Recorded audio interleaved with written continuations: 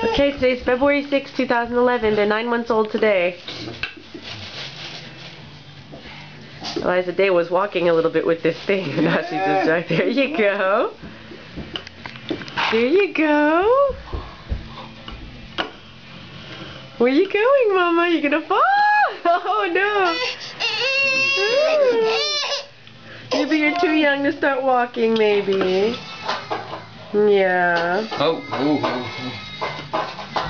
Somebody has something to do that. The bug thing. Huh? Hey!